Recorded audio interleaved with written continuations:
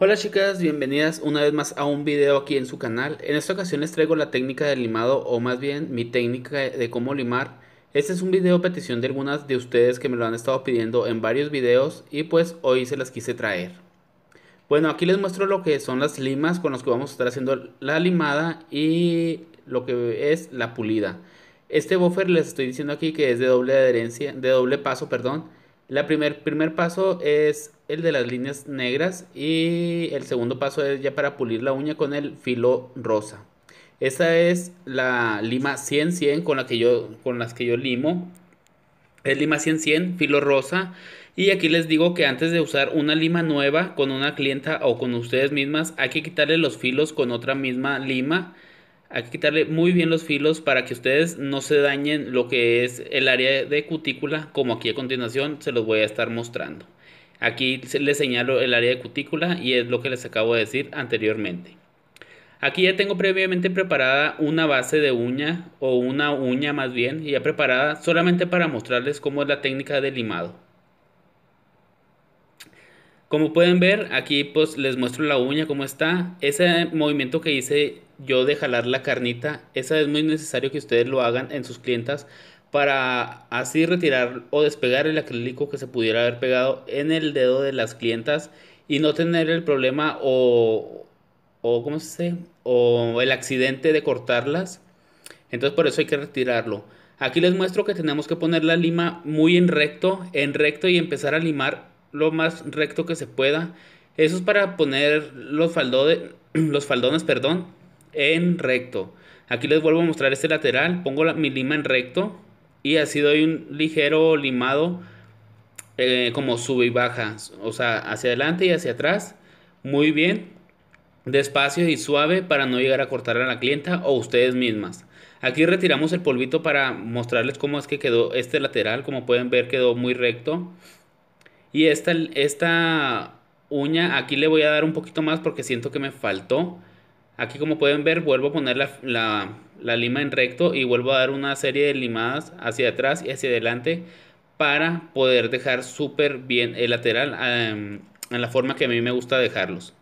Bueno, aquí vamos a limar los laterales. Los laterales se alinean también en recto, pero hay que dejar un poquito como sesgada la lima para ir, para ir este, quitándole la cuadratura a lo que es la, los lados de la uña, para que no se vea muy cuadrada la uña y nos quede muy uniforme lo que es al momento de limar ya la superficie de la uña, que nos quede muy bien estructurada esa uña.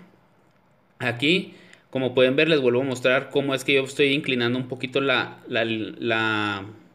lima. Así, como lo pueden ver aquí. Y hay que dar este, la lima aquí como pueden ver aquí hay que dar lima en recto pero hacia un poquito sesgado para quitar eso cuadradito que son en los que se hacen los laterales cuando aplicamos el acrílico también les voy a estar enseñando que, cómo es que debe de quedar la punta. La punta debe quedar del grosor de una tarjeta de crédito, chicas. Ese es el grosor adecuado que debe de quedar en una uña acrílica.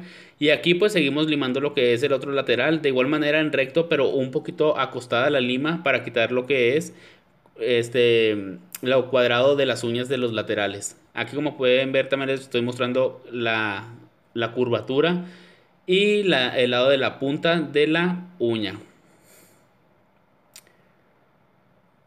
Aquí le estoy dando un poquito más em, en un faldón porque siento como que me había quedado un poquito mal. Y aquí les vuelvo a, a ¿cómo se A poner la forma en que yo limo los laterales un poquito ya más rápido para no aburrirlas estos pasos, chicas, son muy importantes que ustedes los sigan tal y cual yo se las estoy enseñando aquí. Ahora vamos a limar lo que es la punta. La punta hay que limarlo, pero hay que agarrar la uña de la clienta para no levantarla o no lastimar a la clienta. Hay que poner un dedo, como le estoy poniendo aquí, eh, sobre la uña acrílica para evitar que se le levante la uña y poder lastimar así a la clienta o ustedes mismas y pues les duela o qué sé yo, ¿no? Pues la van a lastimar y se va, a sentir incomodidad la clienta y hasta a lo mejor ya no vuelva por bruscas. No se crean, ¿no? Pero bueno, aquí como pueden ver pongo la lima en recto. Para limar la, la punta y dejarla cuadradita tiene que ser en recto la limada y al último ustedes mismos van a checar con la misma lima. Si su lima queda recta es porque su uña ya está bien cuadrada. Entonces aquí eh, les estoy mostrando los laterales, lo que llevamos. Ahora les muestro el área de cutícula. Muchas de mis suscriptoras me preguntan cómo es que liman el área de cutícula. Aquí vamos a dar un limado envolvente. El limado envolvente quiere decir que solamente va a ser hacia un lado. También les mostré ahí que no deben de acostar la lima hacia la cutícula, o sea, a pegarla hacia la carnita porque van a hacer el anillo de fuego. O sea, le van a cortar a la clienta o ustedes mismas y eso duele mucho, chicas. Entonces aquí estamos dando el limado envolvente, como pueden ver aquí. Les, le di solamente hacia la izquierda y después di solamente hacia la derecha para verificar que la cutícula me haya quedado bien sellada. Recuerden que ese área o esa línea tiene que perderse donde empieza el acrílico con su uña natural.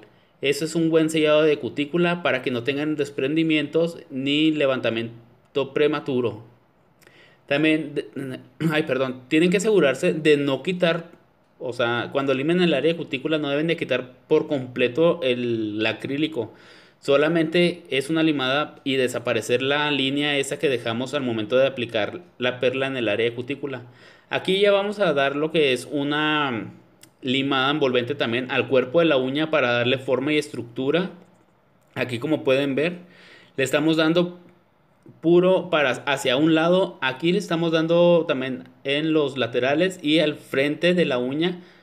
Eso es para que para darle cuerpo y uniformidad a la uña y que quede un diseño muy bonito y ya muy bien estructurado. Aquí me desenfoqué un poco, pero me doy cuenta y vuelvo a poner el, el dedito de práctica en la, al foco de la cámara. Aquí lo estoy dando en recto en la superficie de la uña para ya terminar de limar lo que es la superficie de la misma. Y recuerden que también ustedes antes de, de, decidir que ya está lista la uña, ustedes tienen que mirar la punta, así como la estoy mirando yo, que la punta les quede lo, el grosor, el mismo grosor de punta a punta.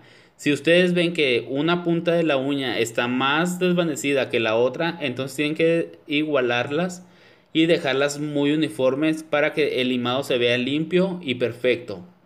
Aquí como pueden ver ya terminamos de lo que es la limada. Estoy, estoy limpiando con un cepillito. Y ya después de aquí vamos a empezar a lo que es la pulida. Como pueden ver, les puse la, la, lima para que ustedes vean el peralte que debe llevar esta uña, que por decir es un número 2, pues debe llevar un peralte lo suficientemente fuerte como para que no se les quiebre. Entonces aquí está el buffer. Miren, el, las letras, esta área de letras, si tienen el buffer de Fantasy Neos, el, con el área de letras vamos a dar la primera pulida en una forma envolvente desde cutícula hacia punta, así como lo estoy haciendo tal y cual, ustedes lo tienen que hacer, de cutícula hacia punta. Este lado nos va a ayudar a quitar lo que son las rayaduras del, de la lima anterior, que es un grano muy agresivo, que es la 100-100. Entonces vamos a dar pulida y después vamos a quitar filos, hay que quitar muy bien filos y hay que este, pulir también la punta. Esto es para que no les dejemos las uñas filosas a las clientas y después este, anden ellas, es, ¿cómo les puedo decir? Pues incómodas o rasguñándose o qué sé yo. Después cambiamos ya al siguiente lado y con este le vamos a dar lo que es ya pulido a la uña para darle terminado y aplicar un gel. Y pues ya casi lo vamos a estar terminando este video. Espero que me hayan entendido. Si no me entendieron, pónganme en los comentarios o pregúntenme en los comentarios qué es lo que no entendieron y yo con mucho gusto les estaré con les estaré contestando. Voy a subir otro video aparte de este de cómo limar con el drill. Aquí ya limpiamos lo que es la uña acrílica y como pueden ver cómo quedó estructurada y bonita. Entonces ya después de esto lo que vamos a hacer es aplicarle un gel que este es el gel de Fantasy Neos que yo utilizo. También varias chicas me estuvieron preguntando en el video anterior y lo vamos a aplicar. Recuerden que antes de aplicar el gel en área de cutícula hay que poner una un brochazo de primer o una capita de primer en área de punta y cutícula y después aplicamos el gel. para que no haya desprendimientos prematuros o craquelamiento del gel. También me han dicho que si cuando pules el gel no se te craquela o que a muchas se les han craquelado, a mí la verdad no me ha pasado eso. Mm, pero si les está pasando a ustedes, pues cambien de gel. Pues recuerda vivir para soñar y crear para respirar. Nos vemos hasta la próxima. Chayito Valdés.